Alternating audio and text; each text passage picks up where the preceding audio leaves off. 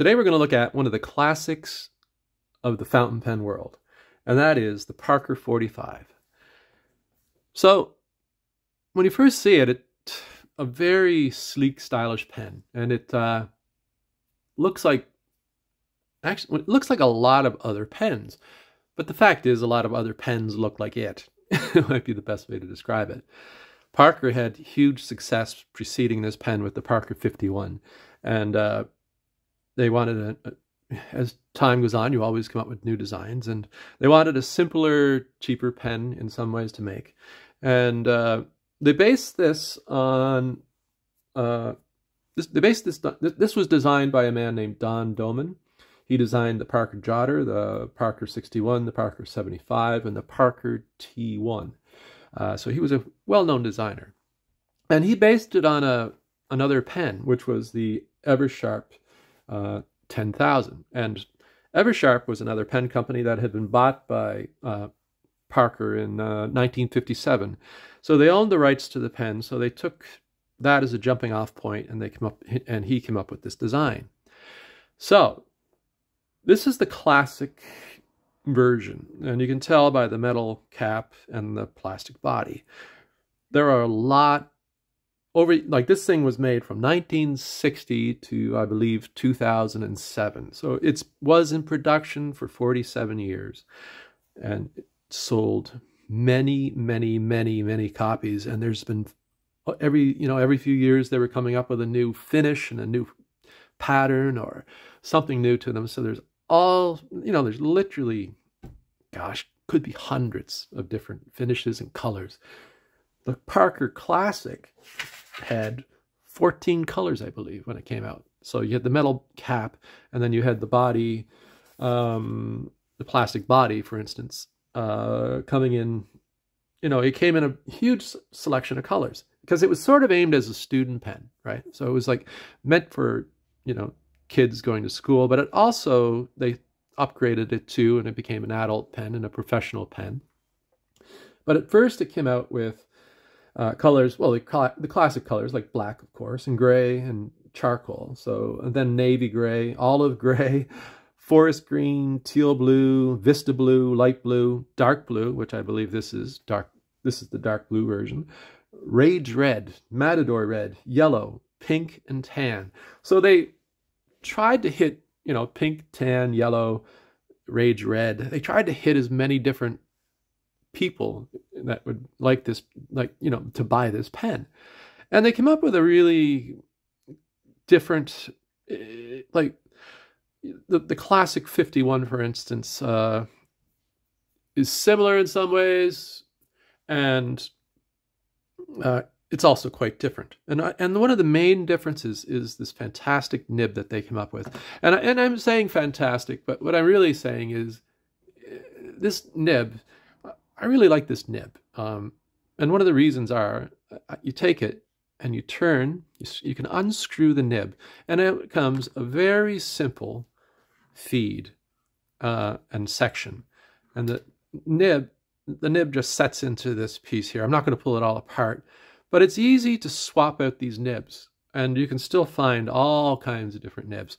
This one has a gold nib. Um, so it did actually, you know, it had steel nibs. You, will most likely find steel nibs, but this one came with a gold nib. I was quite surprised. I'm not going to pull it apart, but it says uh, 585 underneath the, the hood. But um, yeah, so you could pull out those feeds, you could clean them easily, you can swap the nibs, and uh, excellent design. You know, sometimes getting a feed and nib out of a pen can, can be a little bit of a specialist uh, uh, uh, task. Uh, but this was very straightforward. So if you wanted to, you know, you damaged your nib, or if it, you could buy a new one and uh, swap it out.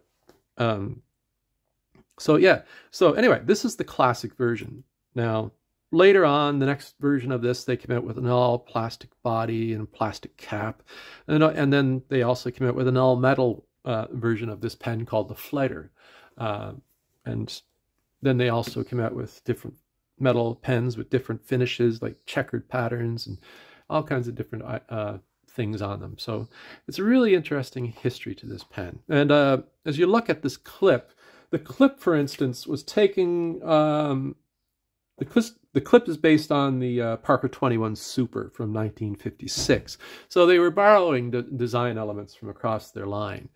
Um, now Parker, uh, you know, Parker is still in business and they're still making lovely pens, uh, but they're not the leader today that they used to be. You know, their upper line pens are very popular. The Parker Duofolds, you, they're quite expensive, and then they make the Parker Jotter, which is still in production, and they have reissued the uh, Parker 51, and they, uh, they, uh, you know, there's all kinds of nice pens by Parker, but in some ways they've become less of a leader in the industry and um, sort of forgotten in a strange way. And um, which is a real shame. It'd be nice to see Parker come up with a new pen design that blows everybody's socks off, you know. So maybe someday they'll do that. Um, but anyway, and when I say they uh, became a leader in design, I'm just going to show you a couple pens that, you know, this is a Pelikan 12. And as you look at that, you can see the like the same tapered shape, uh, higher quality materials, of course, in the Pelikan. Uh, a modern pen such as the Studio, you can see elements uh, of inspiration there.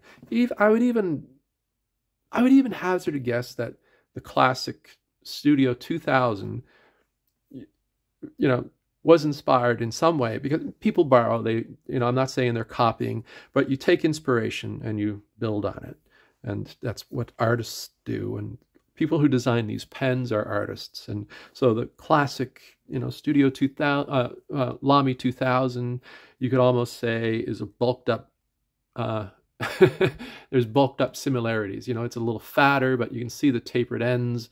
Just so there's inspiration being drawn from this pen. And this pen, of course, is inspired by uh, the Eversharp 10,000. So you see how people, when they're designing things, uh, draw inspiration uh, from one another. Now, um, quite commonly with the Parker 45, there is one issue that occurs, and that's the shrinkage that you see occurring at the section, at the grip section here. I don't know, I think it just over time sort of sinks down a bit, uh, but it, it doesn't really damage the pen. It's just a, you know, it's just a little dent there, possibly from people holding it you know, gripping it, and the, the warmth of their hand. So the quality of the plastic, for whatever reason, you get this shrinkage and, and distortion occurring here.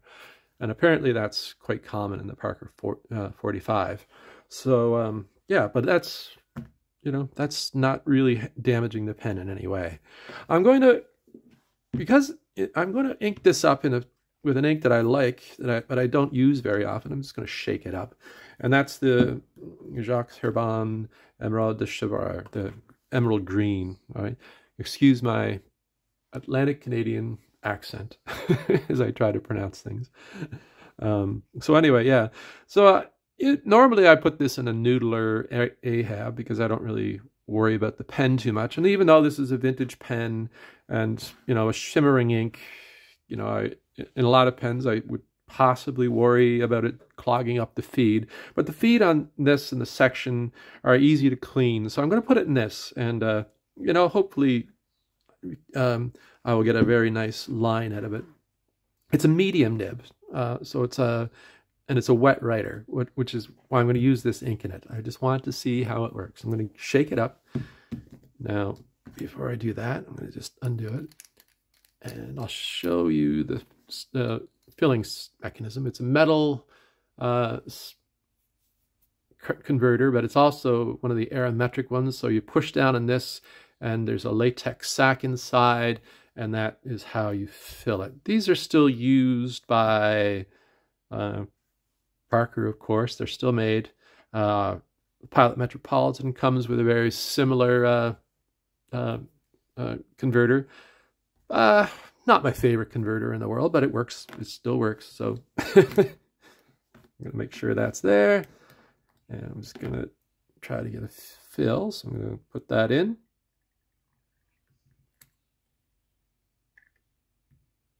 You can hear it drying up. Try not to get ink everywhere like I usually do. Wipe that off. Put this on because the cat is nearby. She hasn't shown up yet, but she is nearby. She often is. I kind of feel like a character from a Philip Pullman book with my animal nearby all the time. So wipe that off. I'm just going to take this. Anyway, so it's a a slip cap. I love pull slip cap, pull cap, and it's very uh, tight. It um, you know it has a good seal. There's like a metal band right here, kind of gold plated. The clip is gold plated, and uh, it, it's very firm. It doesn't fall off. It's very nice, and it posts very well. Actually, posts very deeply, actually, and uh, as you can see, and the section is the grip section is very long on this pen. Uh, and it, you know, even though it's all plastic and it tapers down, uh, you know, I don't find my fingers slipping on it. I, um, some metal, shiny metal sections, I, I do find that happens, but I've not found it with this. And uh, once again, when you're using a hooded nib, uh, some people find them a little, well, you know, they don't like them for, uh, for certain reasons because it's hard to get the angle right. But I always uh, align my clip with the nib and that just gives you a visual reference to where the tip of the nib is. So it doesn't take long to do. You get really quick at it. You just line it up so you can see that, you know, when I look at the, the clip in my hand, I know where the nib is, right? So it's like right here. So the quick brown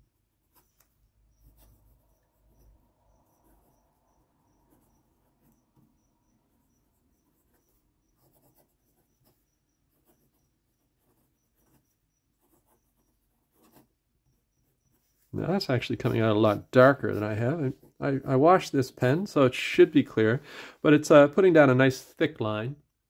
Um, there's, it's not what I would call a, a flex nib, but there is line variation as you use it. Um,